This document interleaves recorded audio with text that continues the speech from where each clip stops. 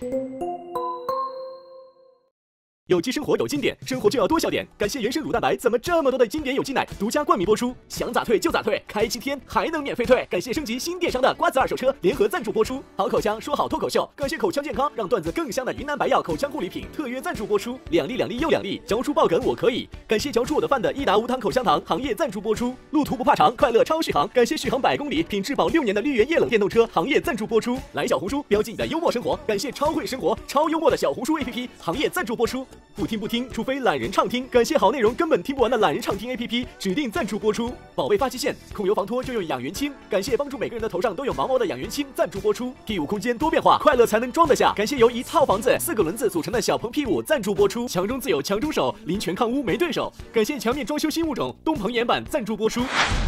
欢迎各位来到脱口秀大会第四季。我觉得每个人呢都可以当五分钟的脱口秀演员。你到底想通过我这张脸来表现这个面膜的什么作用？副作用吗？我就知道我的虎牙长得有问题。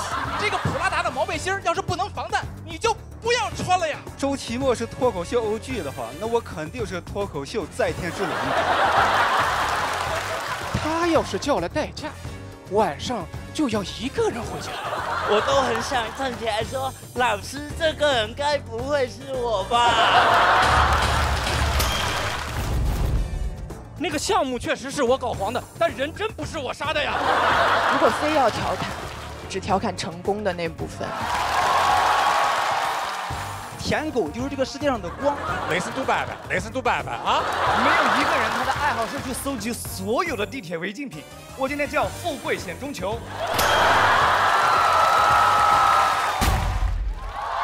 先请豆豆实至名归进入竞技区。每个人都有一个复活名额。修位。王建国。我选吴星辰。孟川。世联赛最终的晋级名单。每周二、周三都有脱口秀大会，不要错过。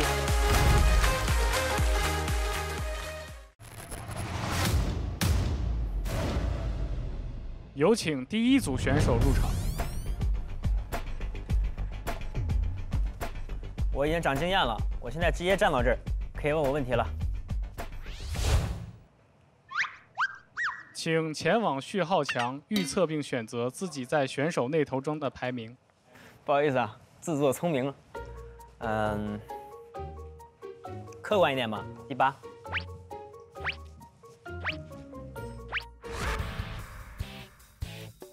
你为什么在这里？我是亚军啊！我是广志，广志过分了，广志过分了，广志谦虚了吧？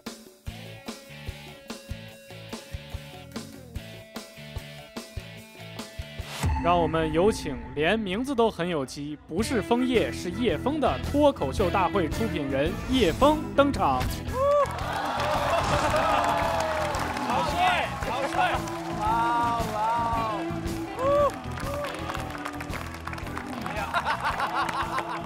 首先还是恭喜大家成功晋级，成为脱口秀大会第四季的三十三强。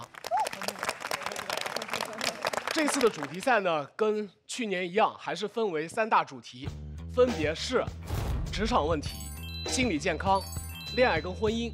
恋爱婚姻这个主题，因为人气比较高，会有十三个名额。这个赛段将会有二十位选手晋级，十三位选手离开脱口秀大会，并且没有复活。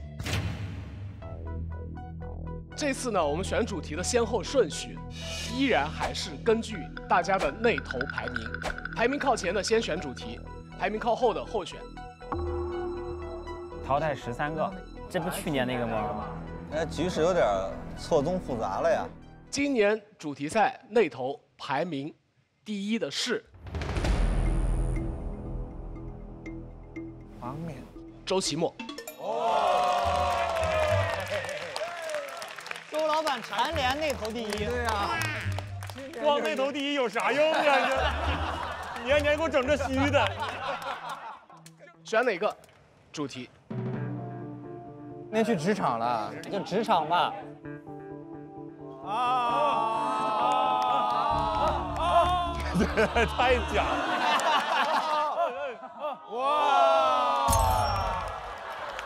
啥呀？这是啥？你谈过恋爱吗？一是我没有工作，二是心理健康啊，人多多少少都有一些问题，所以很容易讲。所以我觉得我还是不如选就就选恋爱。那头排名第三，庞博。哦婚姻，婚姻，婚姻。恋爱婚姻，继续，继续，继续，恋爱，恋爱，加入，加入，加入，加入。不要不要不要不要不要不要！我我我我我我我我我！哦，平均一点了。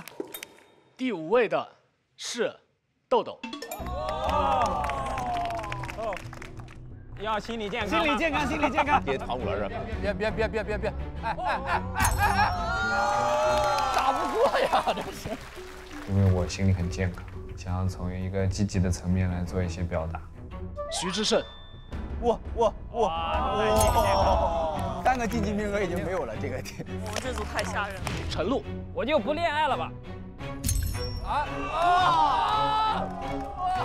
这个心理健康已经强到不行了，现在太难了，心理健康这一组也太难了。主题赛啊，没有什么可担心的啊，我只有除了不太好聊爱情，其他都还可以，就是没有什么可担心。全场那头排名第十一位的是王冕。哇，有点头高了，有点头高。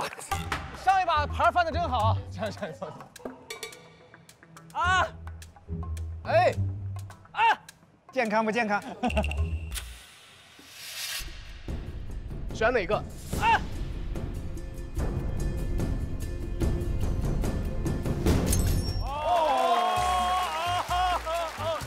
我的天哪，好看了那一张。我们仅有的两位大王都在一起了。我是先选的呀。我这个分组也太不理想了吧！我真是图啥呀？我那头排名这么高，然后我进了这么个组，我还跟谁说一句？心理都有问题了，我们。我心里现在突然健康了，呀老师，我心里没什么问题了。好了，我感觉我恋爱上可能有点想做的。他想谈恋爱，我想谈恋爱了，现在。你想得美。好，只有一个晋级名额了。接下来第十四位袅袅，我觉得主题比对手更重要。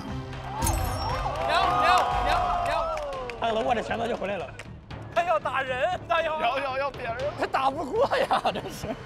Rock，这个主题当我自己讲的时候，它是我的最优选。哎呀，死亡之组，死亡之组，这一组在干嘛？我们小佳，小佳，我特别关心你平时是做什么工作的。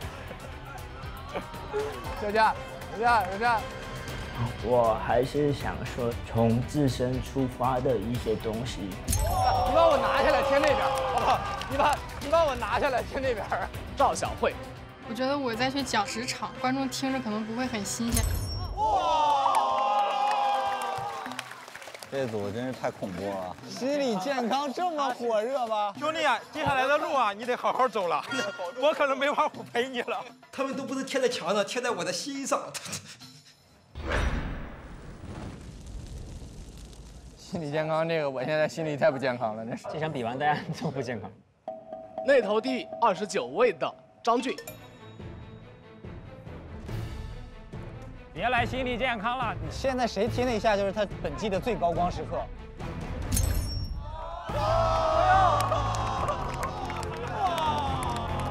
每年到这个阶段，我的运气都很差，我总能选进死亡之组里面，我不知道为啥，心理已经不健康。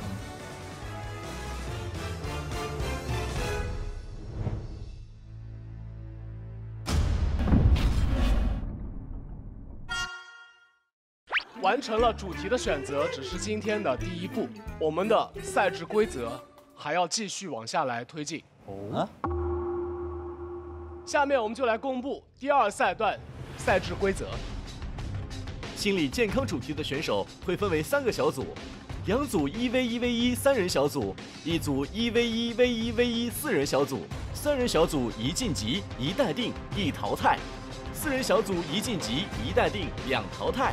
哇，这个也太狠了！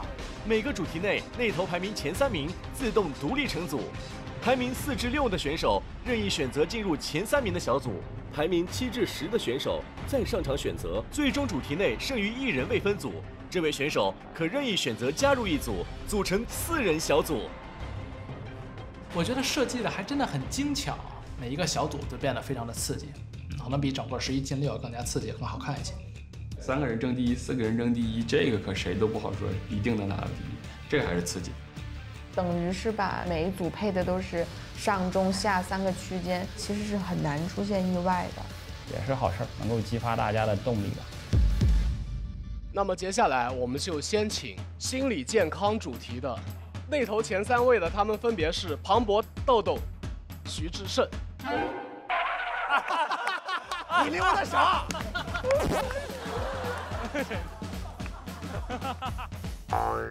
接下来，在这个主题当中，那头排名第四到第六位的陈露、王冕、袅袅，请出场。哎呀，好消息是我不会同时遇到他们三个了。王冕、陈露、袅袅，想好你要选谁做对手？就是跟谁一组其实都还好，只要你内容足够硬的话，你跟谁比是无所谓的。请选择。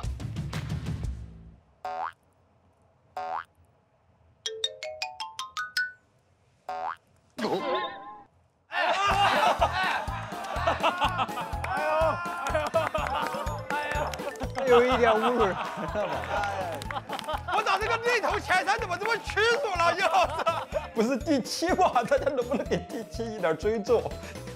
我这没脸投的，你们投吧。尊重，尊重，尊重。就 是我猜，我也不确定，会不会是我有点弱了？会不会是这么一个荒谬的理由呢？那么接下来由你。来选择，你希望跟他们中的三位的哪一位成为同组的竞争对手？虽然我很想他们三个都选，但是毕竟规则在这儿了。三二一，娘娘，对妞妞来说，这也是一个最好的选择。我现在就感觉不是我选择了他，是我俩互相拯救了彼此。接下来，没有成组的还有豆豆、庞博，依然是王冕和陈露，你们俩可以来分别选择。三二一，请选择。选庞博吧，豆豆正好啊，漂亮。现在待定区起码有一个大王了，两个大王在一组哎，这也太卷了吧！万别是，我其实最期待就是王冕和彭博那个小组，就是感觉。注定有一个大王是无法进入二十强的，我 还挺期待的。我们就属于看热闹不嫌事儿大，谁才是真正的王中王，就看这一场了，真的。然后我们有请这个主题的第七到第十位的朋友来到这里，留给大家一点思考的时间。三二一，请选择。我 选豆豆那一组。张俊选择的是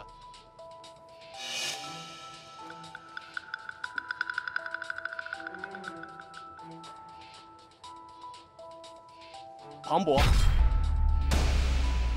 哦，张俊是在干嘛？王中王，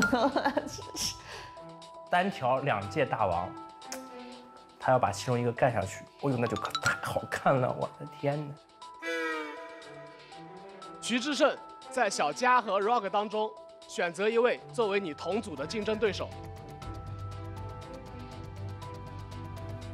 三二一，请选择。我选择 Rock 哥。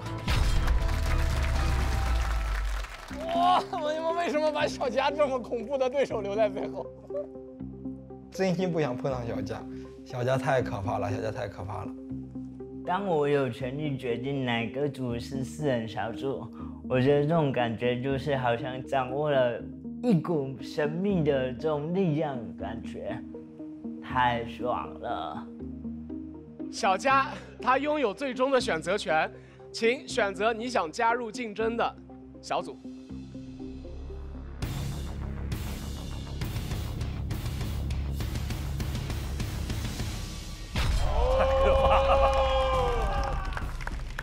我觉得他们四个会非常好看。是强强对话了。我还是最期待我们小组的比赛，别的比赛的胜负我不太关心。现在，我现在斗志还挺昂扬的。接下来这一个月是场硬仗啊，是场硬仗。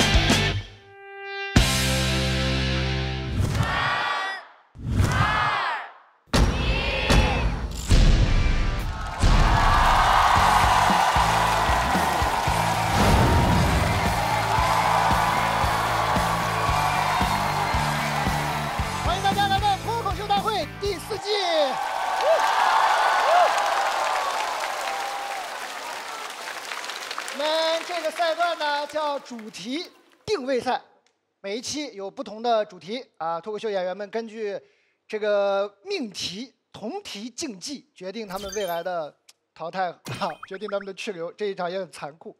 然后我们也再次欢迎一下新的赛段加入我们的新的领校园永远 C 位的宁静。Hello，大家好，大家好。欢迎笑果文化编外员工大张伟。谢谢各位，谢谢我啊，谢谢大家啊。我们主题赛呢一共有三场，第一场的主题就，本场的主题叫没关系，我也有病啊。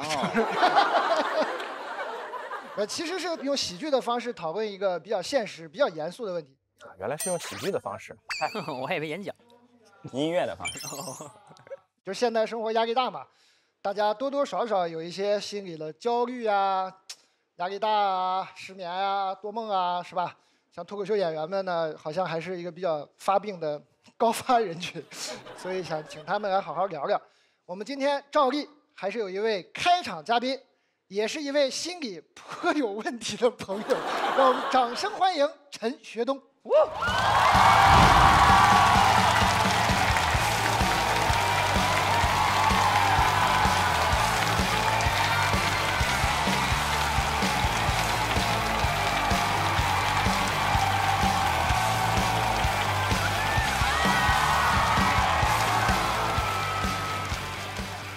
Hello，大家好，我是陈学冬。这是我人生第一次站在舞台上讲脱口秀，然后今天讲的主题是聊这个心理健康的问题。我想，其实，在座很多人都会有心理的问题嘛，像场上的这些选手，最近因为比赛被比赛折磨得快疯了吧？我我来到现场其实就是给你们加油的，然后让你们放松一点。只是一场比赛而已嘛，人生最重要的是比赛吗？是。是外貌。是不是听完以后让你们这些外貌焦虑的人更加雪上加霜了，是吧？看看身边的那些人，长得不如你们的人，如果身边没有的话，那就好好比赛，啊！徐志胜、何广智，加油！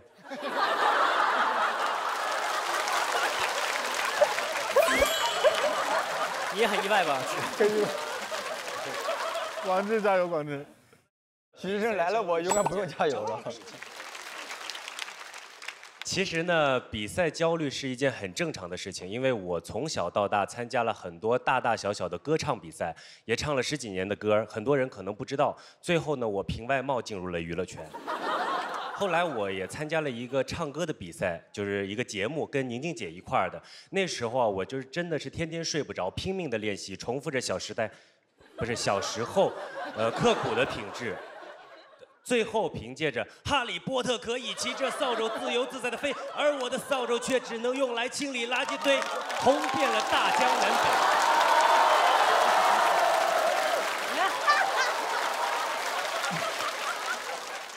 以后啊，谁再说我没有代表作，我就当着他的面再唱一遍，用我的 rap 把他给送走。其实呢，比赛让人焦虑，还有一个是社交媒体也会让人焦虑。我刚刚出道的时候就是比较闲，也比较空，然后晚上的时候会熬夜看网友对我的评论啊。我就是那种很贱的人，你知道吗？明明有好几条特别好的评论在夸我的，我非要看那几十万条在骂我的。看了以后就很难过，难过呢又忍不住想看，边看又边生气，就很想怼回去。能不能别骂了？都半夜三点了，上班时间骂我不好吗？带薪骂人不爽吗？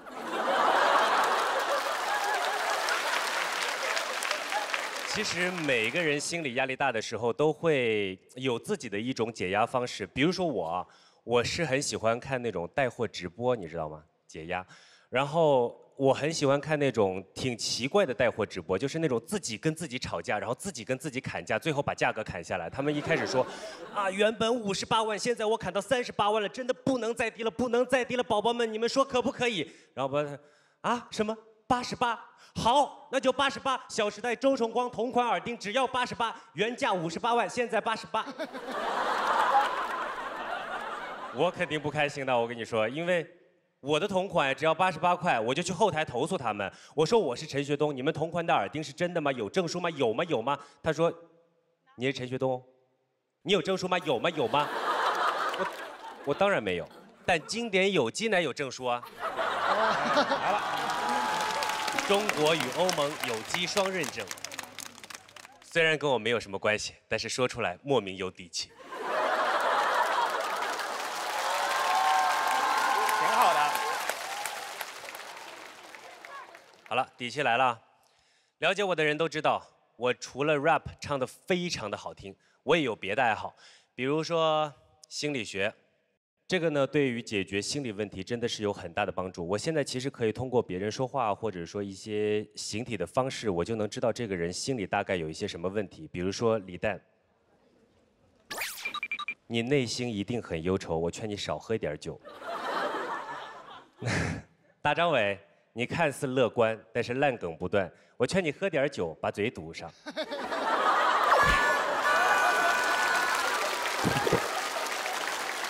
宁静，嗯，静姐怎么可能有问题呢？静姐完美。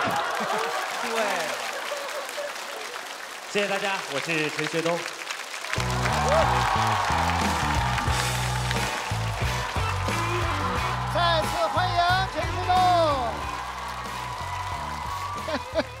好，我们这一期呢叫没关系，我也有病。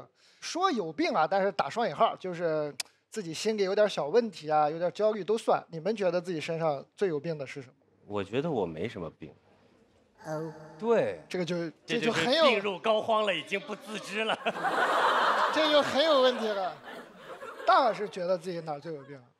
我，我，我的草原，我的马，我想怎么耍就怎么耍。然后我，我有什么病？我没有什么病。你的病就是脑子里装了太多乱七八糟的破玩意儿。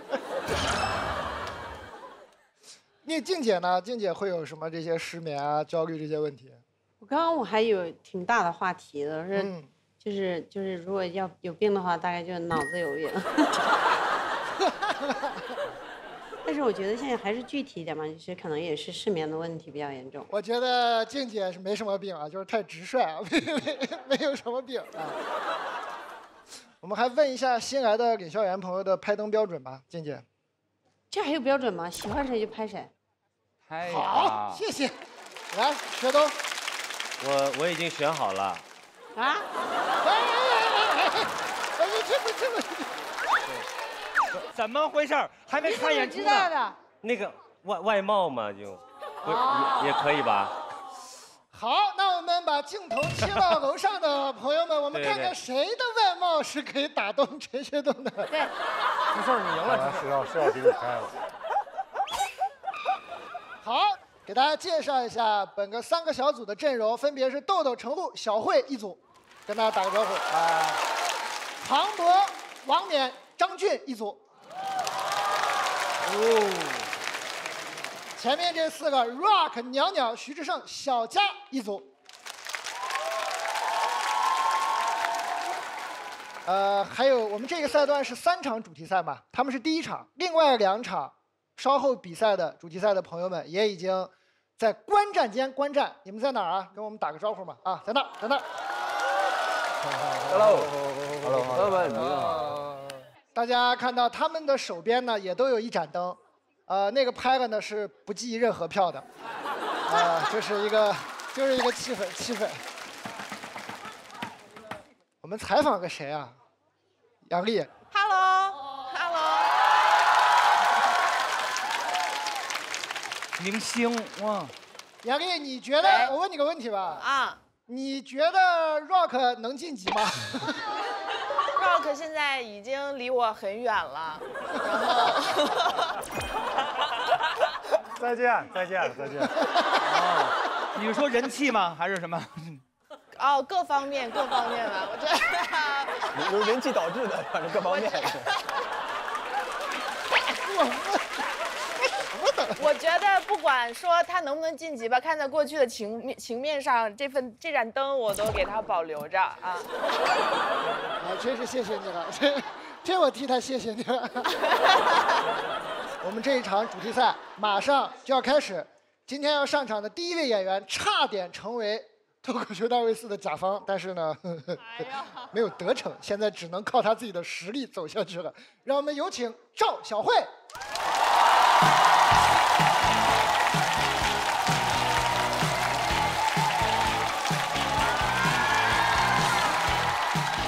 始了，我天！开始了，开始了。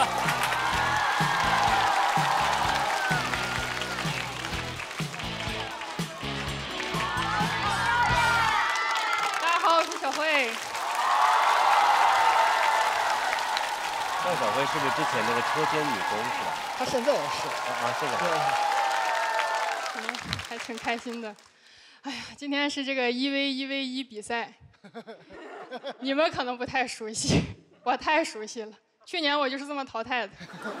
去年我因为准备了淘汰感言，观众就劝我，他们说：“你知道你为啥淘汰吗？因为机会都是留给有准备的人。”所以今年我就没有准备，这个福气我决定留给别人。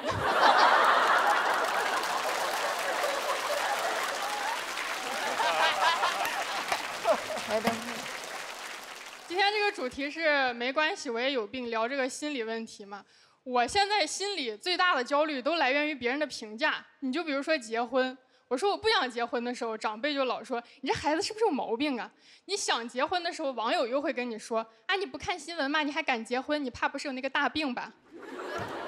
所以搞得我现在就很焦虑，而且前一段时间我去给我好朋友的婚礼当伴娘，搞得我更焦虑了，因为我是第一次当伴娘，他就教我，他说伴娘很简单的啊，你就先堵门啊，不要让新郎跟伴郎进来，然后把我的鞋藏好，不要让他们找到，哎呀，反正就是不要让他们轻易的把我带走。我说你要是不想结就算了，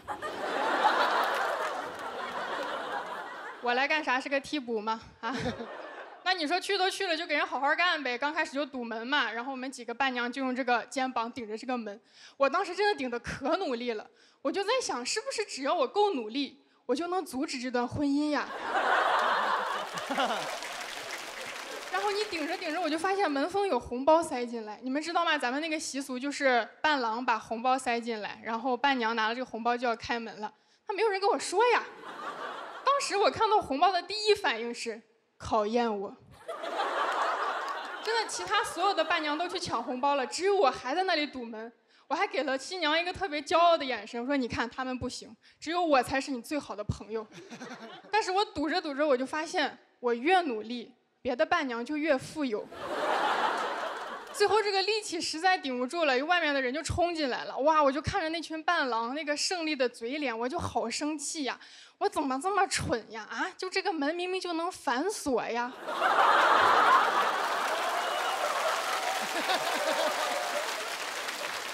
当时啊，有一个伴娘站出来，她说：“哎，这样咱们搞点文明的啊，不要搞得太低俗。我呢准备了几个问题，如果你们都能回答上来啊，啊、你们就可以把新娘带走。第一个问题就非常文明，她说：如果你问李诞有没有房，他会怎么回答你？答案是但说无房。你们知道吗？我当时脑子嗡的一声，我就在想，不是不要低俗的吗？你说让你整的好好的一个婚礼，对吧？毁于一旦。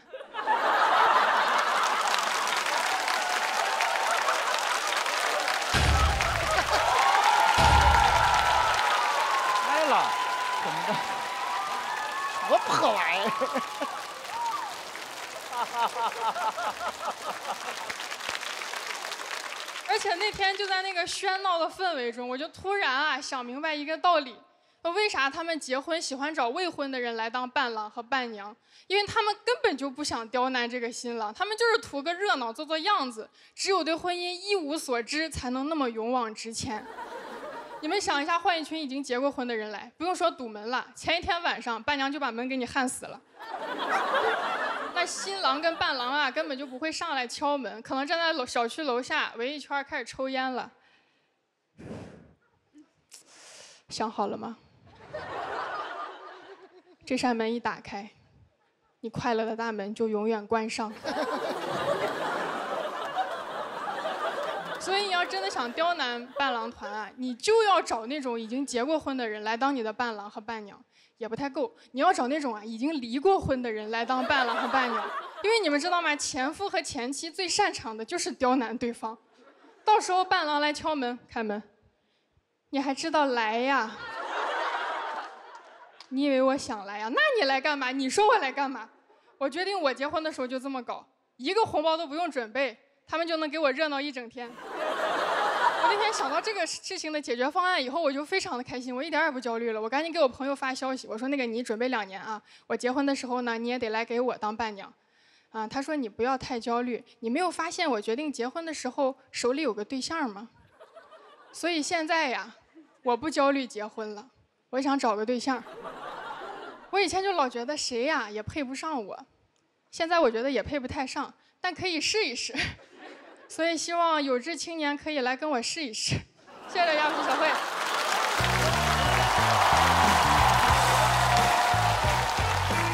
还有几次？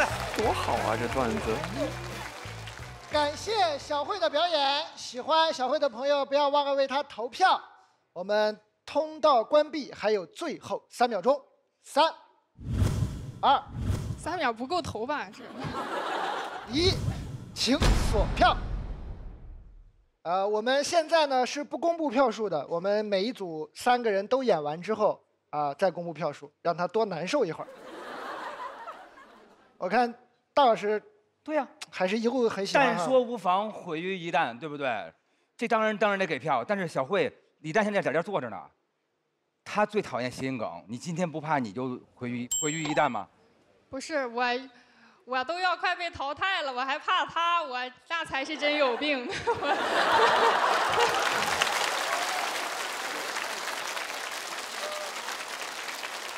行 行，我也拍了啊！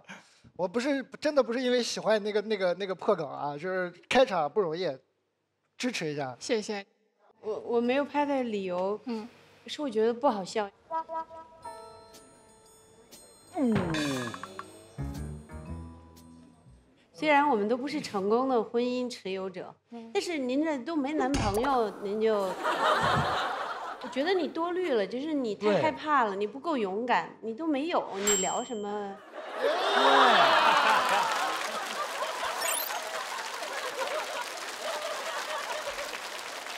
哎，小慧，你是一直都单身？嗯。Y Y D S 永远单身，对不对？我厉害厉害。哎，那为什么就是什么样的男孩才能追逐到追追求到您的喜好呢？就是呃一米八以上，火，嗯，呃没有外债，没有外债，然后能养活自己就行。哦，这要求也不高啊。是啊，那那是为什么？你自己长那么美，可能吧？感觉我们这种没有谈过恋爱的人，最喜欢指导别人的婚姻跟爱情。倒也是，其实像我们这种又结婚又离婚的，指导别人更不成功，因为没有成功案例。好，哎，我们来看一下啊，得到了十票，看一下你的同事们怎么点评你，在哪里？看看谁给你拍灯，谁没给你拍。讲的很好，讲的很好了。请问王建国觉得哪儿好笑？哪儿都好笑，特别逗。那。特别好，不是我，因为我听不太清你们的反馈或者什么，我都听不太着。您都没听见，您就好啊？不是，我不是你们说话没听着，因为你们说话太不好笑了。他的我全听清了，特别好。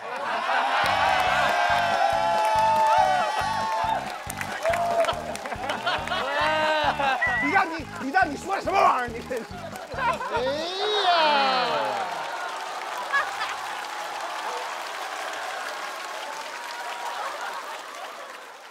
先请小慧进入等待区。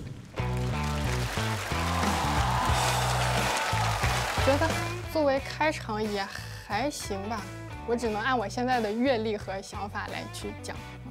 从嗯我们的角度来看，非常非常好，他开场开的非常非常棒。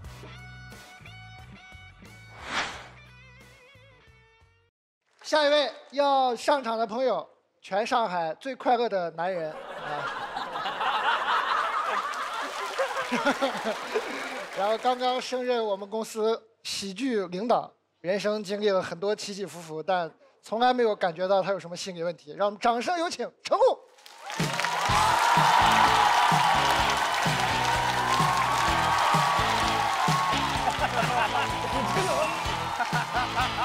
确实像领导了。好，谢谢大家，我是程璐。认识他。太好了啊，小慧啊，真厉害啊，厉害厉害，什么结婚啊、离婚啊，真的是 没有必要，对吧？没有想到我现在是小慧心中最佳的伴郎人选啊。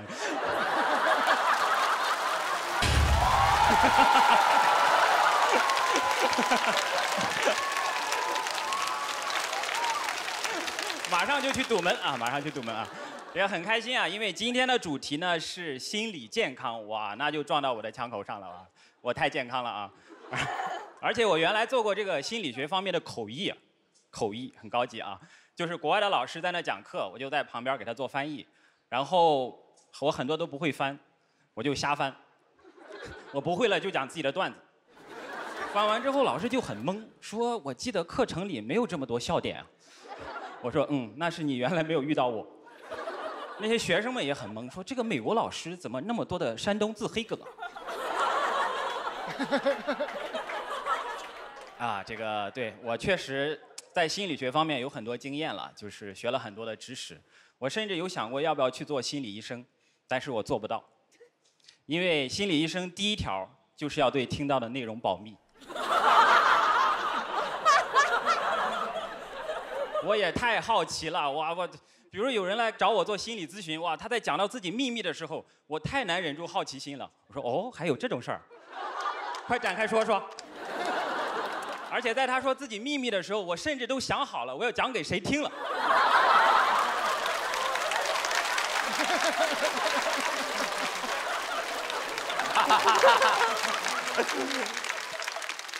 而且如果他的秘密特别精彩，一次咨询做不完，我就催他下次赶紧来，我就给他电话，什么时候来看心理医生啊？已经断更很久了。我是一个催更型的心理医生啊，而且我做不了心理医生还有一个原因是我受不了别人说一堆废话没有笑点，我会忍不住给人加梗。就是如果别人一直跟我说，我说等等，hold on，你已经讲了五分钟了，还没有梗，你应该在你讲到你老公出轨了那里加个梗，比如说，幸亏我也出轨了。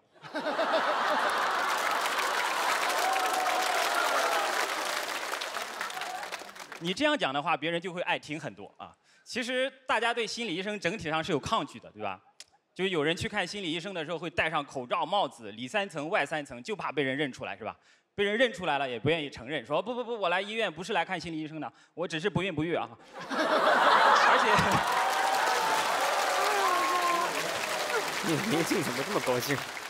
而且 很多人心里出了问题，他不看心理医生，他觉得自己看看心理方面的书就行，这就很荒谬啊！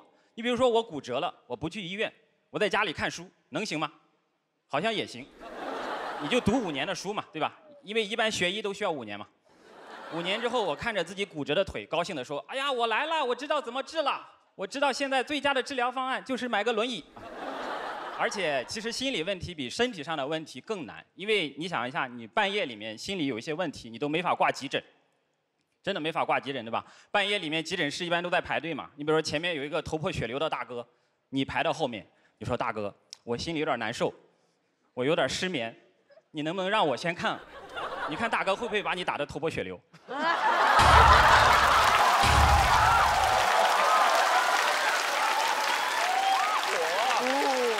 哇当然，大家都知道我们搞喜剧的多少都有一些心理问题，是吧？所以我们公司这是一个真事儿啊，我们公司给所有的脱口演员都配备了专门的心理医生，但大家都不太敢去看，就怕自己心理正常了，是不是就没那么好笑了？然后那个心理医生确实也很有用，他治愈了好几个脱口秀演员，突围赛都淘汰了。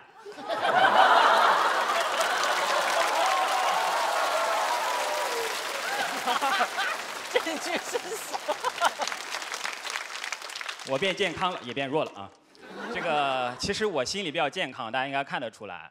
我只有一个烦恼，我就是心里太健康了，我太开心了，导致我的脱口秀没有素材。所以我就劝自己，哎呀，开心也是一天，不开心也是一天，干嘛要这么开心呢？做脱口秀演员嘛，最重要的就是不开心啊。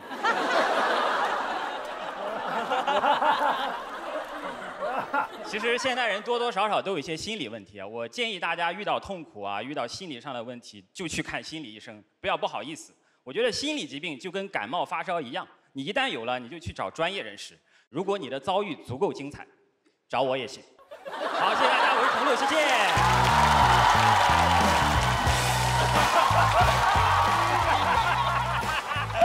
这可以，这可以，这可以。不知道，有点不知道程璐跟小慧谁那个。呃，喜欢程璐的朋友，投票通道关闭还有最后三秒钟，三、二、一，请锁票。不是，等一下，程璐，你你离婚了吗？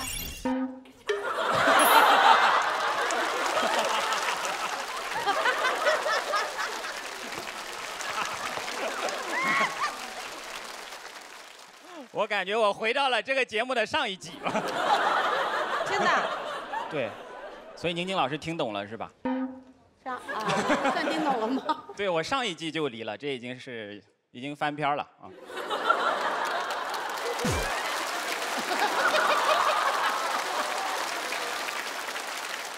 行，我刚陈哥讨论了半天，说看心理医生也没什么。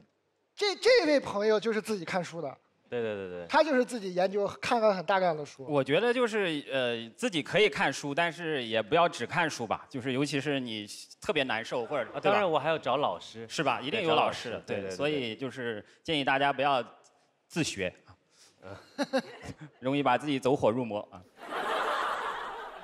面对压力啊，这个负面情绪，我感觉你都处理的挺好的。有什么方法分享一下啊？我解压方式，比如说去两元店，问人家这多少，挨个问人这多少钱。哎，这个几块钱，这个几块钱，这个几。那店主不压力很大吗？哎 然后买一个超长超长荧幕玩大植物大战僵尸，累死僵尸。然后然后 把压力转给别人是吧？对，然后，然后就是，我就有好多压力，就是因为我也特别爱较劲，我也失眠，我也这种，然后就是爱自个儿跟自个儿开这种无聊的玩笑，然后学会享受无聊，就没那没那么大事儿了，对吧？其实程璐跟你嗯处理方式差不多，是吧？你们私下可以交流交流，他比你还夸张。是的，是的。哎，李诞，你你看上去老是感觉人世间都不是事儿的，你就没有什么烦恼啊？我太多烦恼了。你怎么解解？工作，喜欢工作，然后折折腾他们啊。然后对，他会叫我们所有人一一块儿陪他。行，我们看一下，陈哥获得了十五票。谢谢谢谢。那我们谢谢陈哥。好谢谢等待区。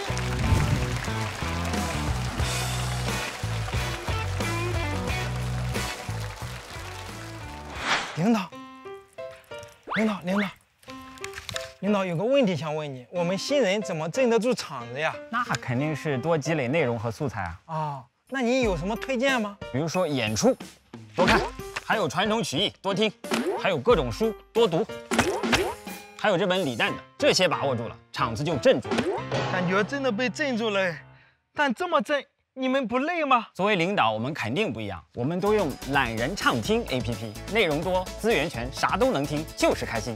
哎，又有内容更新了。场子镇不镇得住我不知道，但我真的被镇住了。接下来这位是今年进步特别大，表演方式也跟以前有很大的不同，而且演出量非常夸张，有可能是我们效果过去一段时间演出最频繁的一位演员，丰富的舞台经验啊，但是是非常年轻的一个人，让我们欢迎豆豆。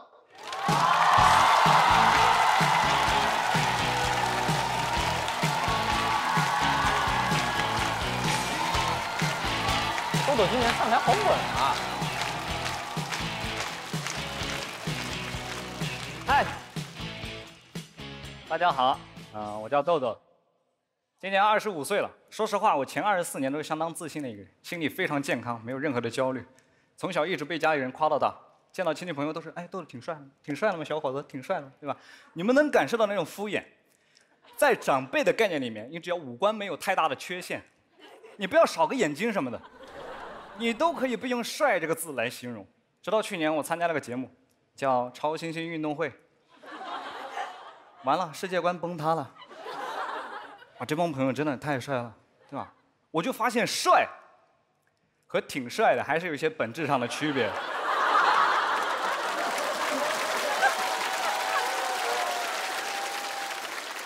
这个节目他会邀请很多男团的 idol 啊、小鲜肉啊、练习生啊，我呀，我也不知道为什么混在这个里面，对吧？他们的名字你们也应该听过，像什么于晓彤、周俊伟，哇，他们那么帅，真的帅，你知道吗？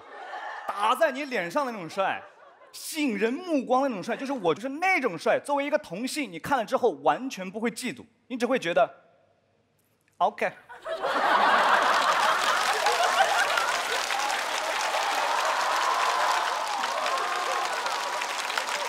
他好自如啊！我跟这帮朋友待在一起一个礼拜的时间，我们每天一起训练、录制、核酸检测。我一睁眼就是他们，朋友们，我都开始自我怀疑了：这个世界上只有我长成这样吗？他们不但帅，而且非常年轻。我参加这个节目的时候二十四岁，我觉得也还行嘛。这帮小朋友十八九岁出道了，所以他们对每一个体育项目充满热情。这个运动会我报了射箭，还有武术。武术我还选的相对简单的太极拳。说是运动会，那一个礼拜我没怎么出汗。我天天像个公园老大一样啊！来了来了，注意安全，活动开，好吧？到了最后一天，有个团体项目，接力赛跑。朋友们，我很久没有赛跑了，我已经很久没有想要用我的双腿去战胜别人了。我在生活当中什么时候会赛跑？我在地铁换乘的时候，我看见边上那个哥们儿走的比我快一点，你在开什么玩笑？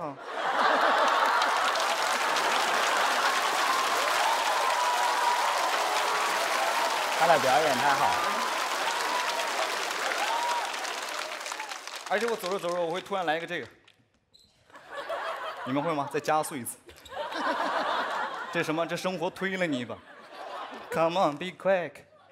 我跑第一棒，发令枪一响，我感觉身后窜过去三四个黑影。我当时就觉得，哼，我是在前进吗？为什么每个人离我越来越远？我不知道你们有没有这样的感觉：当某一个物体快速经过你的时候，你的身体上会有一些下意识的自然反应的。我不由自主的就发出了这样一个声音，啊！我那天像只会跑的尖叫鸡一样，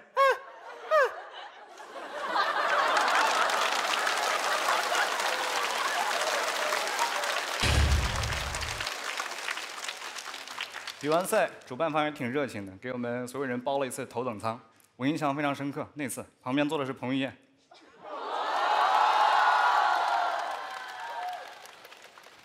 你们有跟彭于晏坐过飞机吗，朋友们？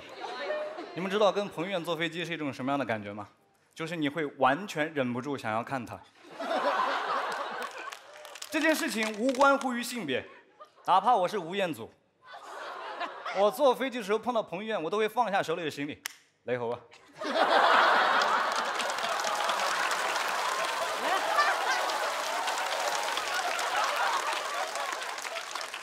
彭先生真的长得有点过分帅气了。整一个在等待飞机起飞的过程当中，我一直在看这个男人，我连安全演示片我都没有看，我一直在看他。告诉大家一个生活当中的小常识，就是当你对某个人感兴趣的时候，你当然可以看，你记得用你的余光看，你不要瞪着人家。哪怕我是彭于晏，旁边坐的是吴彦祖，吴彦祖一直这样啊。你嚼的这个是什么呀？益达无糖口香糖，嚼出我的范儿。兄弟，要不来两粒？也挺奇怪的，对吧？紧接着飞机起飞了，进入到了平飞的阶段。大家在平飞的时候可以做一些自己喜欢做的事儿。冯先生开始给他的朋友发语音了。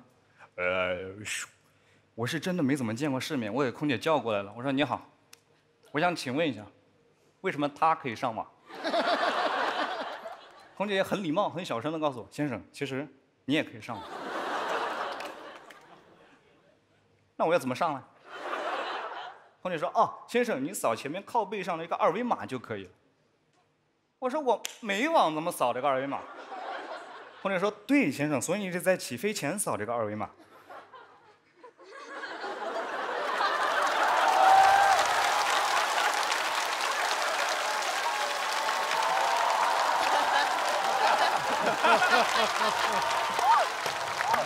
可以。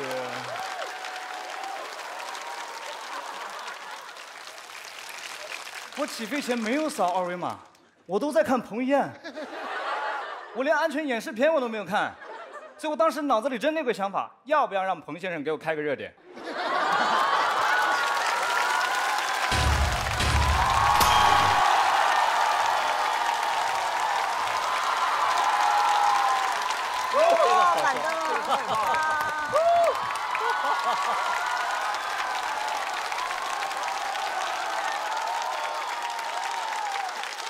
是我忍住了，朋友们，我觉得明星跟超新星之间还是应该保持一些距离的。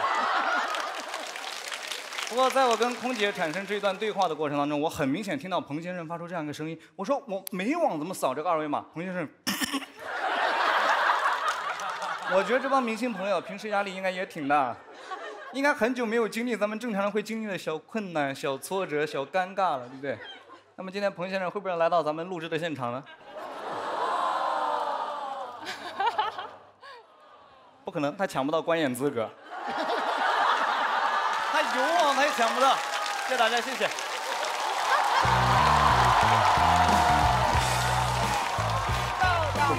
确实厉害，好猛啊！所以就是豆豆应该是晋级，龙哥跟小慧不好说，不好说。感谢豆豆，喜欢豆豆的观众朋友不要忘记为他投票。三、二、一，请锁票。去外面参加节目，整焦虑了，回来看到这些人还焦虑吗？太过分了，就好很多了。豆豆这颜值怎么样？啊参加过。是吧？哎，我觉得也还行嘛，对吧？对对对，得问这个鉴定的这个。啊，我不是，我刚刚因为已经笑到不行了，就是他长得就是我刚才脑子里不知道为什么就是一张白纸戳了两个洞，然后一个嘴巴在动。这一旦接受了以后，他就一直在那里讲话，我就特别想笑。就是你知道我我刚刚参加过一个节目叫《创》，对吧？嗯。大概那个是大家认为应该长相的样子的人才能去那个节目，显然你离那个就是长相有点远。但是，我觉得大家，什么人呢？我这左右左。但是我觉得大家对长得帅不帅这件事情确实是有个人观点的。我觉得你长得好看。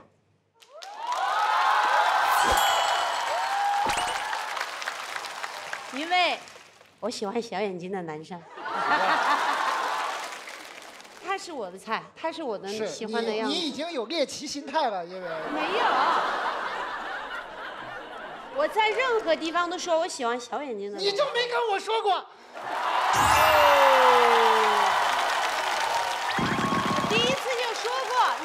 笑，我你认识这不相么多年了，信，你 你不相信，我第一次就说了，我说你长得最好就你眼睛。大老师对豆豆还有印象吗？我觉得冠军，我能说这句话吗？你随便。我我我怎么觉得他他好厉害？我就觉得他在他在台上已经感觉这人已经是大师了，一环接一环，一环接一环，太精彩了。所以我觉得太了不起了。豆豆，我预测这回能成冠军，了不起，了不起，了不起。豆豆好像真的是今年进步最大的。王冕，对不起啊，小二位，就是这样，厉害，真厉害啊！好，我们看到豆豆也获得了所有领笑员的排灯二十票。我们来看一下后面那些同事们怎么样？又又又又是我呀！你预测一下呢？你觉得他们三个谁淘汰了？赵晓慧啊！王建国，哎，你今天怎么回事？不是 这完全不像你啊！喜剧之路越走越窄，但人生的路走宽了，我支持你。因为王建国，大家对他有了解，他是一个特别怂、客气的人。对，隔得远就敢说话，是不是？对，每次都这在直说，挺好，欣赏你。咱再问一下博洋吧。呃，是什么问题？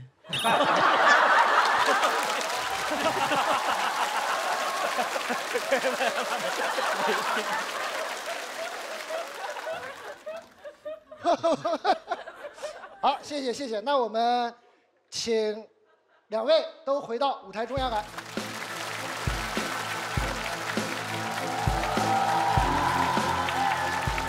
我就要开始洒泪了。这谁走都都很可惜啊。我们将要公布三位的最终成绩，然后呢，一人晋级上位区，一人晋级下位区，还有一位将面临淘汰。这第一个被淘汰的人就要产生了。这还真不好说。那我们来看一下最终的得票情况。我对这个内容还比较满意，因为这可能也是我这两年写的还不错的一段内容了。我觉得也还行，我觉得我能准备到这个，可能也就是这个水平和状态了。这一套段子七十五到八十的样子，对，但是该有的点都有了。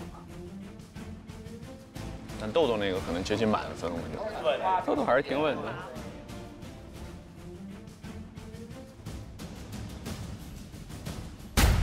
哎呀，那我们恭喜豆豆程璐进入晋级区，豆豆上一区，程璐下一区，恭喜恭喜恭喜晋级。这没有必要啊，没有必要啊。我觉得豆豆非常的棒，因为豆豆他演的时候没有什么太多的那种所谓你要等他，他一直都在这个高潮迭起的迭起中间，所以他很棒。我觉得冠军有可能是他，嗯。豆豆是我另外一个心中的夺冠热门，就是那种哎呀，跟你化骨绵掌，你知道吗？就是轻轻一点你就死了，就是很难打。他他确实很好，成哥就是好，就那样。对，但他其实一如既往，嗯，他应该能更好，但他不这么做。程璐很棒，程璐我觉得这一季他焕然一新，之后会越来越精彩的，嗯。好的，到了一年一度赵小慧最精彩的 淘汰感言时间。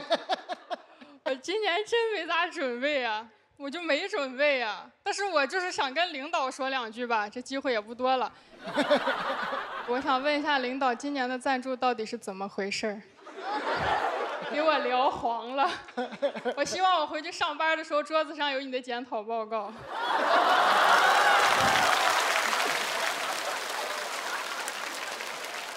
对，而且就是他处心积虑的把我调到市场部，就一直跟我说什么啊，外面请的人不懂咱们公司啊，你懂咱们的产品，你是咱们自己的员工，出去肯定不会说公司的坏话吧？哎呀，领导，天真了。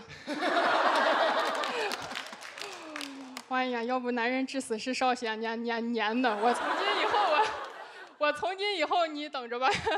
而且我就是想劝我的领导们长点心，因为呃之前别人讲段子就是吐槽一下男的啥的，人家还知道出来反思一下自己。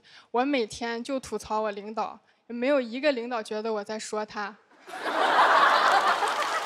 是不是是不是有点太过分了？小慧，嗯，把他的姓说出来。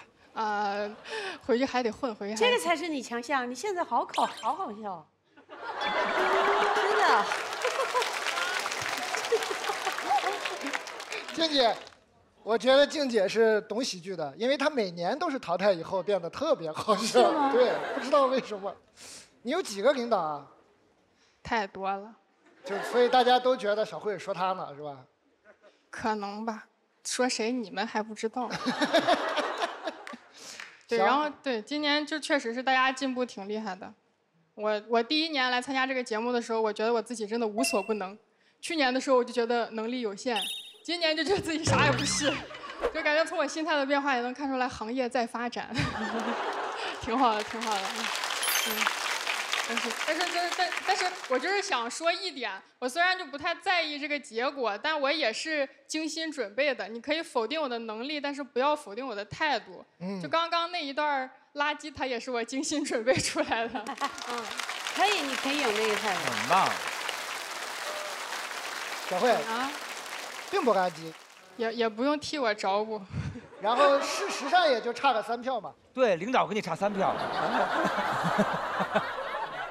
我走了，我就 行，谢谢小慧。好，明年再见，谢谢。好。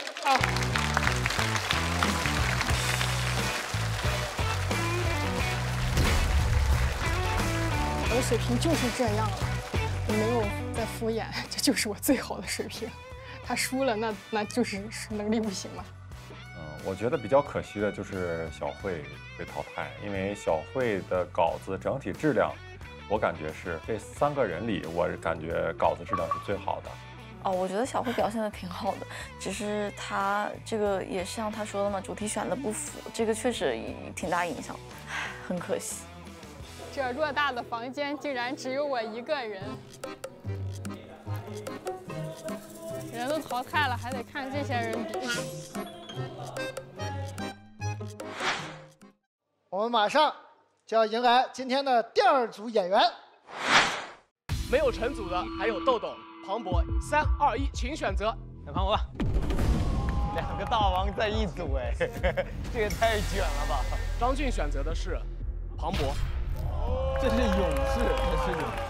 我心里面在追求一种非常刺激的感觉。我在创作上就经常会极度自我肯定跟极度自我否定之间来回徘徊，这种性格也会给我写的时候带来很大的困难。国仔，哎呀，来了，来来来来。哎，有点给自己逼死了。在家十天就下了两趟楼，推翻了十几个方向吧，就有的都写出了一段了，然后就觉得不行。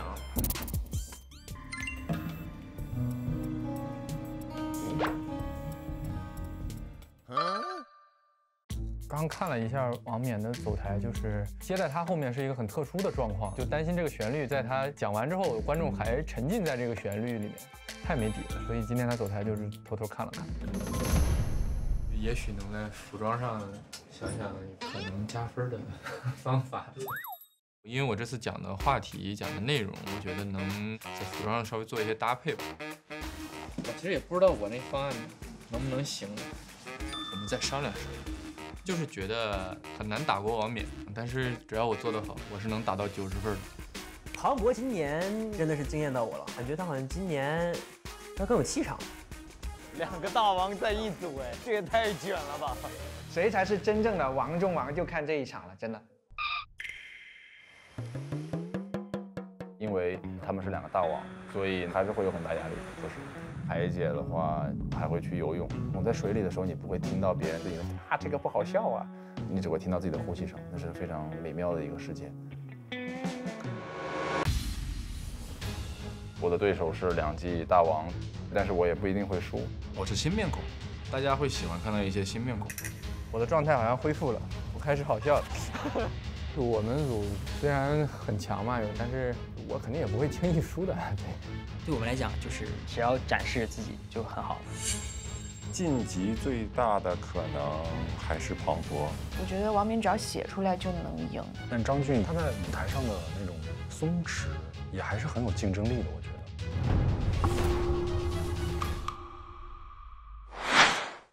首先要上场的就是这一组，其实长得都挺好看的啊。让我们有请啊，面对两位大王举步维艰的张俊。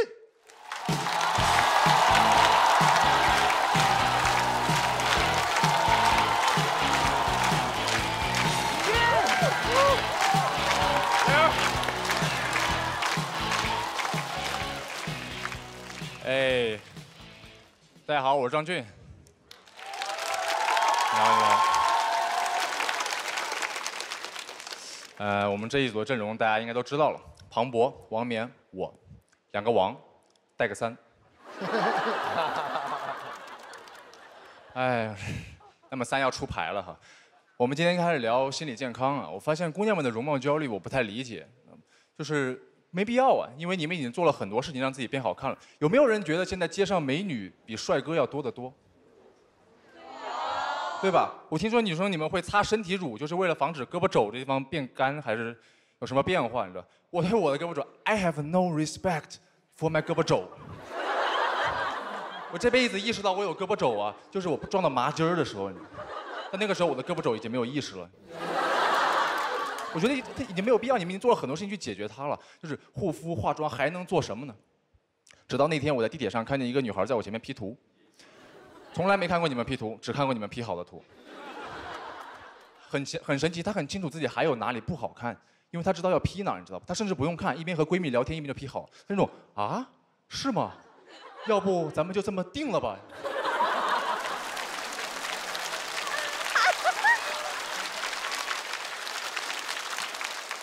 很神奇，但男生不知道。他当时发了两个大同小异的版本，问自己男朋友哪一张好看。我隔着屏幕就感到对面很紧张，因为微信上面啊一直显示的输入中，但就是没有消息过来，你知道？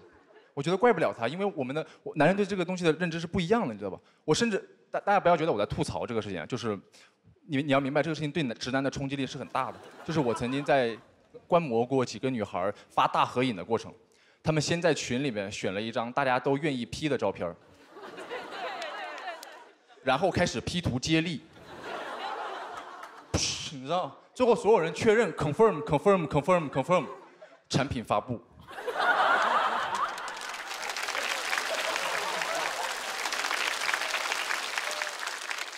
我从来没见过一个男人为自己的兄弟们 P 一张合影。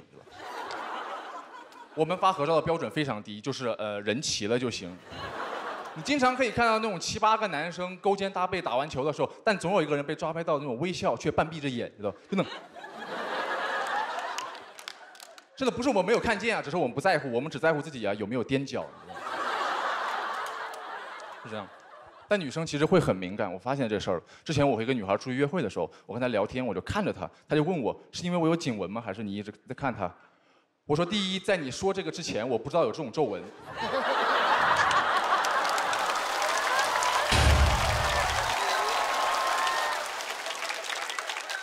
就算你指给我看，你说你看，你看这个地方是什么，我都会说，呃，这是脖子吧。你这么一问，我也不太确定了，是吗？不会是别的什么东西吧？第二，我是那个时候才意识到，在这种男性凝视下边，女生的第一反应是自己不好看。但是没有女性凝视，不可能有女性凝视。我可以告诉大家，女性凝视会怎么样？你看一个男生时间久一点，我们只会觉得，哼，你喜欢我。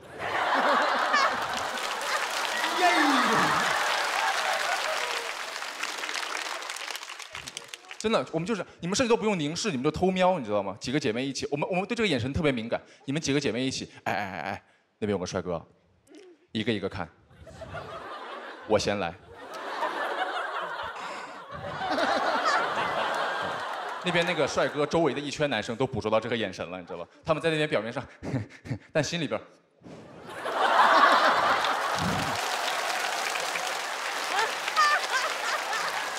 我确实是帅。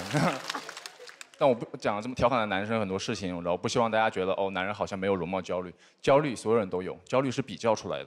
我看见庞博，他很幽默，他很帅，我很焦虑。我看见李诞，他很幽默，我的焦虑就缓解了。对，这这个焦虑是比较出来的，你知道吗？但我其实觉得我们男人的容貌焦虑不多，完全比不上我们的男子气概焦虑，完全比不上。就是我们的男子气概完全建立在那种虚无缥缈的标准上面了。就有人说男人在太阳下面打伞就没有阳刚之气，然后我就不打了，对吧？底层逻辑就是啊，就是呃，即使我得了皮肤癌，弥留之际我都会庆幸，还好我是个男子汉，freaking die a real man。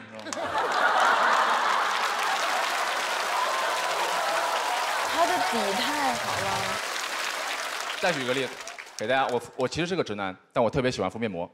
特别喜欢。第一次其实是我前女友让我试一下，我不乐意，我心想我一个大老爷们为什么要试这个东西？但是当我试了以后，哦，也太爽了吧，就是。但我当时不能表现出来，我就哦，嗯，还行。他说你不喜欢就给我，我说那不就浪费了吗？这是。最后敷太久啊，面膜都硬了，还有我脸的形状了。大家有没有看过三星堆面具？就挺像的，真的。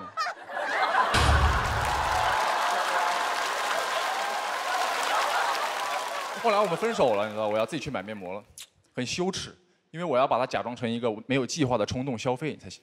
啊，我就过去以后买到只差一百几十块钱就可以打折了，然后我就要极不情愿的拿起面膜说：“哎呀，怎么只剩下这个了呢？”导购在旁边说：“先生，我们还有沐浴露，我不洗澡。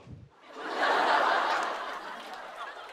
当时我明白两个道理：第一，你可以网购；第二，不要活在社会对男性的刻板印象里面，就是不要管那些告诉你该做什么、不该做什么的人，这会让你心里不健康，你知道吗？那天晚上我看见一个女孩发了一张 P 过的照片。我给她点了一个赞，然后给她发消息，我说：“其实我觉得你不 P 图也很好看，自信一点，不要活在别人对你的期待里。”我感觉话明显触动到了她，因为微信上面啊一直显示着输入中，然后她回我：“管好你自己。”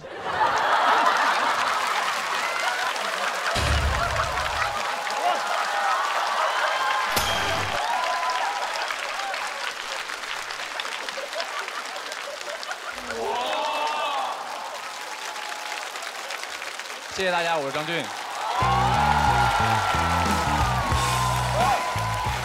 哇，那两个压力大了。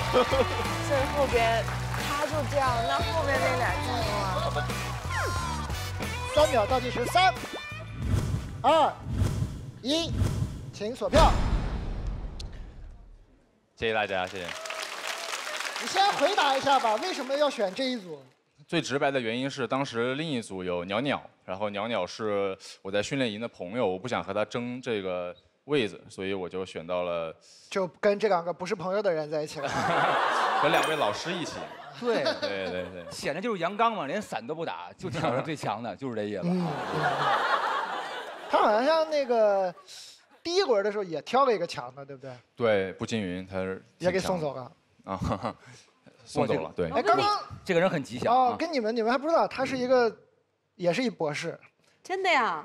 对，我在读在读博士，博士生还没拿到学位呢。哇，好厉害！啊，学计算机，对。哦，这是假发。但我但我觉得他今天有一点特别人间真实，就是其实他说他发现了，他是我头一个听见的，有一个男生说他发现了，其实女生比男生漂亮这个事实。嗯，就就你刚说的真的非常的准确，是因为女生全都是可以化妆啊、收拾啊、打扮，让自己更漂亮。你知道的，是因为男生真的就会被那种嗯所谓的压力所压迫，比如说不能搞面膜，我觉得太好笑了。我支持所有的男生化妆，因为你们真的没有优势。其实男生是一定要化妆的，因为你们的脸色可能比我们的更不好，就是。姐姐姐，咱不要聊这些虚头巴脑，你就说我这还有救没有救吧。你是我喜欢的男生款呀。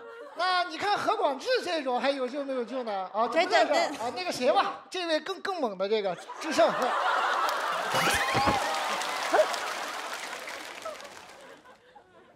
我觉得他说的特别对。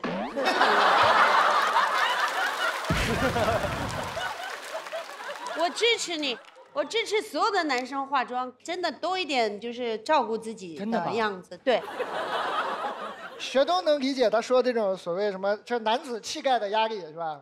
我是能理解的，就是静姐刚才其实也说了，就是，比如说敷面膜啊这种行为都不代表你的男子气概，你真正的男子气概是对你的女人好，对家庭照顾，然后对社会有贡献，对自己的责任感，我觉得这是一个男人应该应该有的气概，对。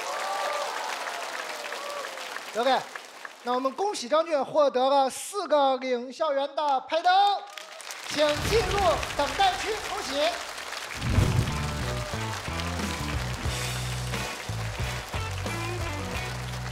哎呦，真没想到张俊二十票，太厉害了！他一直都没掉，就是一直都在那个地方。基本的观感就是张俊非常厉害，就是给了他俩非常大的压力，人家拿出最好的这个水平、状态跟成绩，就逼得你就是只有后面是零失误，其实就是这样。下一位要上场的演员，他呢上一场比赛，因为他有一些小小的特权，他没有参赛，他全程坐在那里看别人比，看别人比，比完以后他想退赛，啊，但是被我拒绝了。让我们欢迎我的弟弟王冕。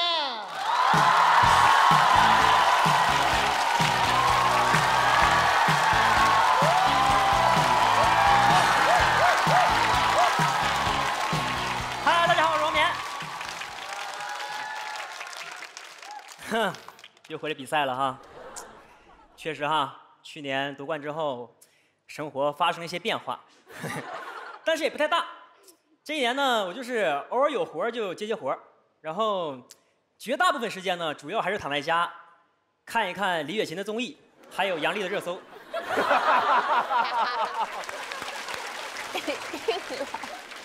当然还是有些节目找我啊，然后能看出来我就在上面就是非常努力的展示着自己的平平无奇啊，所以想还是回比赛吧。啊，正式开始比赛啊！我们今天呢聊的主题是心理健康，我就发现好像很多人都有一个共通病，就是很多时候我们痛苦的情绪都是来源于别人。好，这首歌送给大家。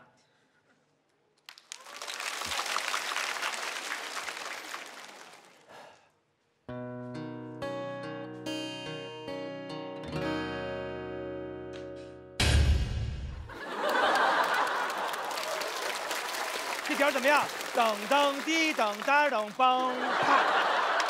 你不要打断我节奏。人刚进入情绪，啊，再来一遍啊。OK，我这个点儿，搞音乐的啊，真的是。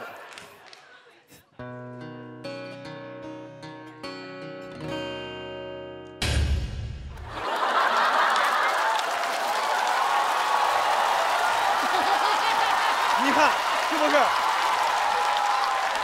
懂说唱，懂节奏，懂 flow。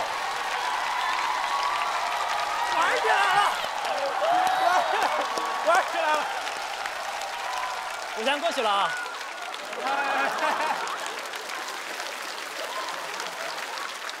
你俩要是拍的话，赶紧先拍完，好不好？你得让我们找这个点儿啊。我们不懂，跟不上。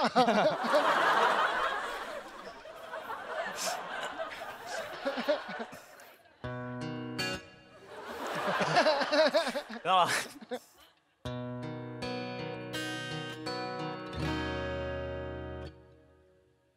早知道我当初就该拉住你，告诉你不要为了工作如此拼命。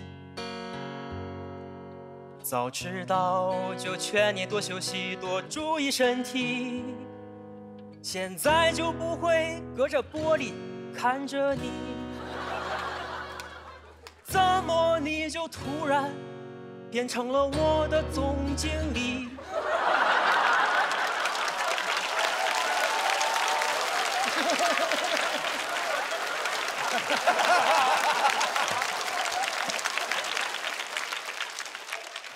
我们一起进的公司，你还是小老弟，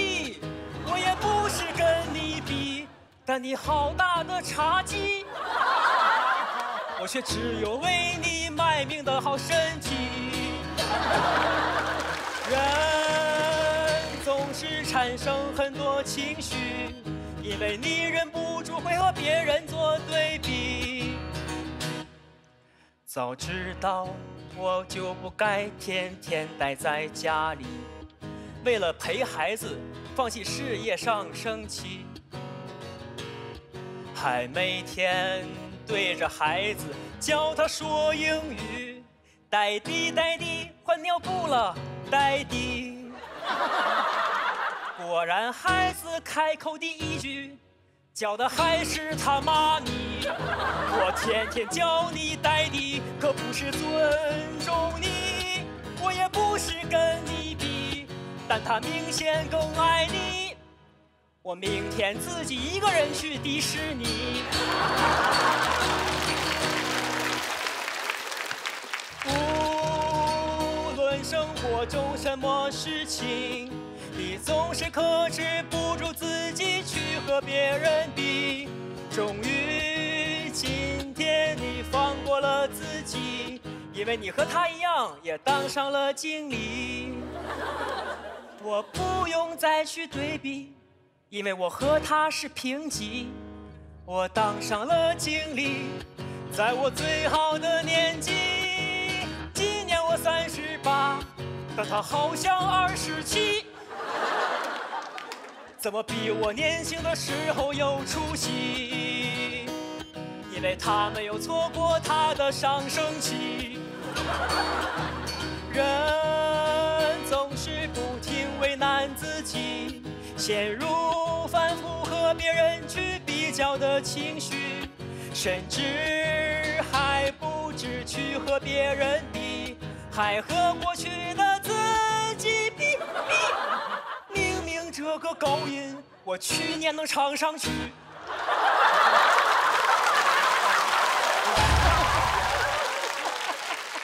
我怎么比不过去年那个优秀的自己？还来参赛，到底是缺哪根筋？肯定比不过去年的自己。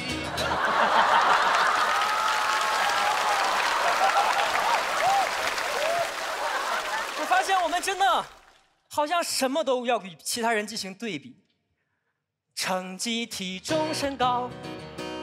工作、房子大小，什么都要比较。就算你得了病，还要让观众投票。哎，这个更好笑，真的没必要与他人做比较，只会没完没了徒增自己的烦恼。我现在就要放弃和别人做比较，留下你们为了比较而烦恼。这样我的心态就比你们好。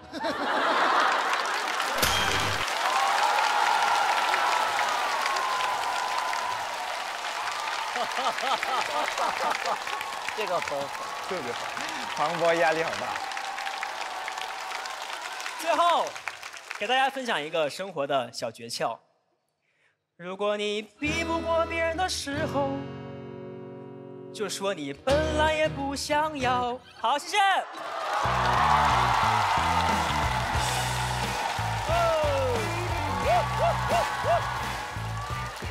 三、二、一，请左票。啊，谢谢，特别棒，冠军在我心目中就是冠军。我刚才在这坐着呢，大老师，全听见了。啊，能看出来压力很大是吧？对，写到今天早上七点。哦，对，哦，赶紧睡觉啊。因为我写这个主题呢，也是因为就比较很痛苦嘛。就其实我是总是在跟自己去年的那些东西做比较，然后就是很讨厌这种情绪，但你又回避不要不掉这种情绪，所以就是写的就总会局限自己。就这个就想聊，又感觉好像又没有意义，然后纯好笑，就一直在限制自己，就推翻了可能十几个方向，然后最后就很痛苦的写了这么一个主题，就是希望通过自己消解大家的情绪，就是不要跟别人比，没什么意义。真的是，不必四处看，你就是答案，好不好啊？加油加油加油！这一季有啥目标吗？不要有目标，不要有预期。就是我是觉得，就是因为我本来就很讨厌比赛这个事情，就跟别人比较就就很没劲。然后我就觉得，如果今年就是我要想玩的话，就玩起来，就是讲没有意义的事情。然后如果想说话的话，就像今天说一些自己痛苦的情绪，然后能走到哪儿算哪儿。就因为我已经收获太多了，朋友们，就是应该让其他人一起收获一些东西。哎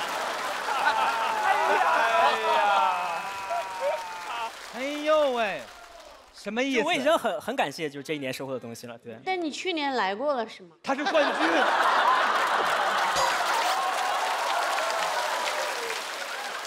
这位，这位女皇，她是上一届的大王。是的，她是上一届的大王。姐不是冲你，姐是在座的各位都是那啥的，对对。让姐 不好意思，不好意思，不好意思，我刚差点没有拍呢。哎呦，啊要不拍，那这不是是不是就犯了很大的错误？没有没有没有没有啊。其实你第一句我就想拍你的，特有一句特好笑，他他说他在各种节目里面看见平平无奇的自己，他每天都在搜那个李雪琴和谁谁谁。也没有搜了段子，你别别讲聊得太真了。人家静姐都往心里去，人都觉得是真的。当时我觉得就是平平无奇的，就一刚开始的时候。学东哥，咱俩好久没见了，是吧？前两天在别的节目刚见完，好像。而且静姐的意思就是说，那那一段是你不弹琴时候说的，对不对？啊，对。不弹琴时好笑的很多，应该是。对。唱歌之后就没听进去。薛东，啊，分析一下王冕现在的心心理状态是什么样的？其实真的，我们在录生活类的节目的时候，我觉得他并没有那么好笑，也没有那么深。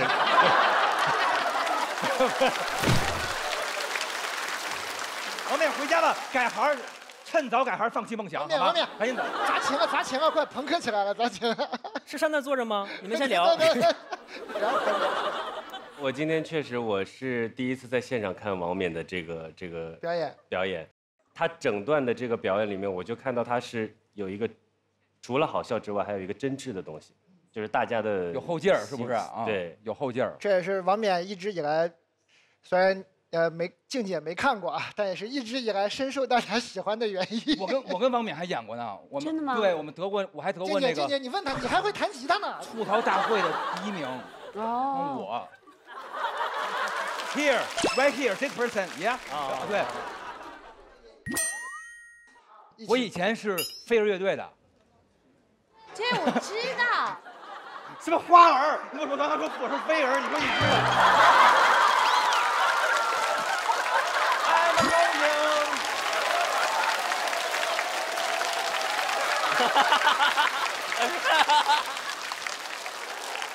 我说我飞儿。那洗刷刷是不是你唱的先？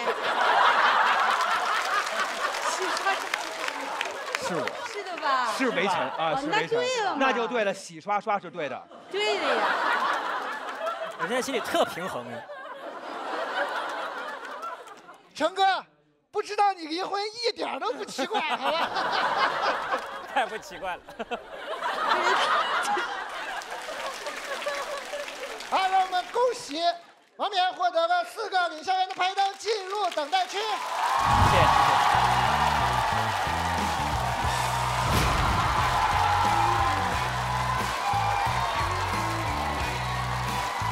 天很很棒哎！谢谢谢谢，真的。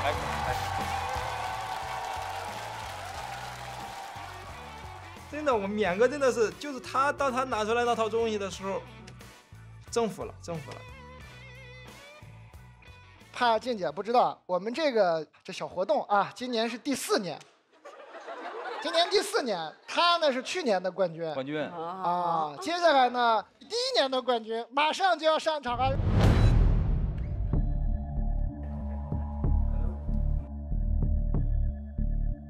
我觉得庞博就是肉眼可见的紧张，搞得我都特别紧张，就替他紧张，非常替庞博紧张。嗯。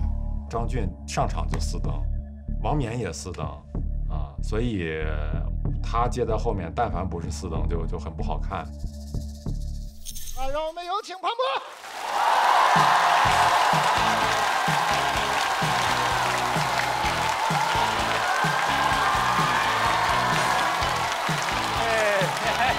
庞博老师加油，千万不要给我任何的机会。我这人呐，就是稳准狠。加油！就希望嗯，庞博。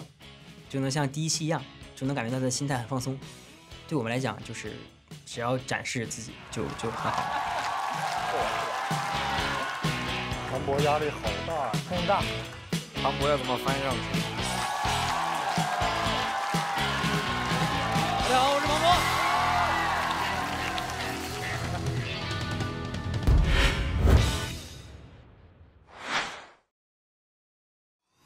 啊，让我们有请第一年的冠军庞博。我还在解释，我说色弱色盲不一样是吧？隔壁班小朋友趴着窗户啊，你们班有色狼吗？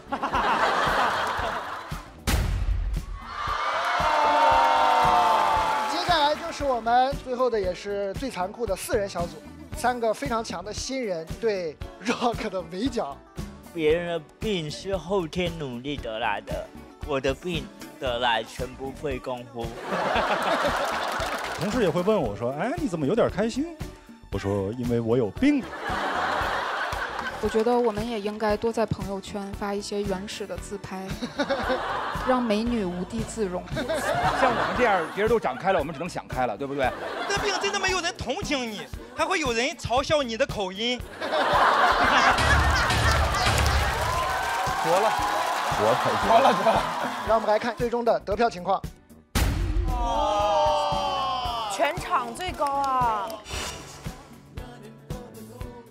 有机生活有经典，生活就要多笑点。感谢原生乳蛋白，怎么这么多的经典有机奶独家冠名播出？想咋退就咋退，开七天还能免费退。感谢升级新电商的瓜子二手车联合赞助播出。好口腔说好脱口秀，感谢口腔健康让段子更香的云南白药口腔护理品特约赞助播出。两粒两粒又两粒，嚼出爆梗我可以。感谢嚼出我的饭的益达无糖口香糖行业赞助播出。路途不怕长，快乐超续航。感谢续航百公里、品质保六年的绿源液冷电动车行业赞助播出。来小红书 APP 标记你的幽默生活，快来小红书搜索脱口秀，让你幽默加成，快乐拉满。下载懒人畅听 APP 收听更多精彩脱口秀。感谢好内容根本听不完的懒人畅听 APP 大力支持。宝贝发际线控油防脱就用养元清。感谢帮助每个人的头上都有毛毛的养元清赞助播出。P 五空间多变化，快乐才能装得下。感谢由一套房子四个轮子组成的小鹏 P 五赞助播出。强中自有强中手，林泉抗污没对手。感谢墙面装修新物种东鹏岩板赞助播出。正片没看够，每周四二十点锁定腾讯视频脱口秀小会，听选手们唠嗑也快乐。每周五十二点某某与我脱口秀背后的故事精彩呈现。节目独家音频合作伙伴，更多精彩尽在 QQ 音乐、酷狗音乐、酷我音乐懒人极速版。打开微信搜一搜，搜索脱口秀大会，发现更多精彩内容。上知乎搜脱口秀大会，